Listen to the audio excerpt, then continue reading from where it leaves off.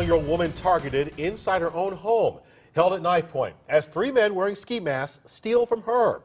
Good evening, Pittsburgh. I'm Andrew Stockey. And I'm Wendy Bell. Think about beyond frightening, and that's what this was. Tonight, police trying to hunt down these suspects. Pittsburgh's Action News 4 reporter Ashlie Hardway live for us at the Rostraver Police Department. Ashlie, do we know exactly for whom police are looking at this hour?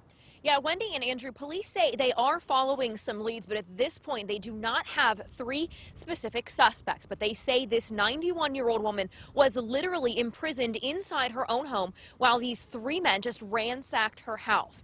Now, we are not going to identify this victim for her own safety, but police tell us she answered her door yesterday morning in her Collinsburg home. Police tell us the one man barged his way in and pulled a ski mask over his face before his two accomplices went inside as well, knocking the victim to the ground and holding her at knife point for cash.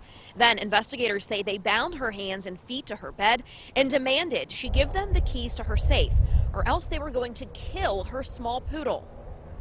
It's three people against one 91 year old woman. Like, what did they think she was going to do? Fight back? Like, it's. I think it was very, it was very, it was cowardly of them.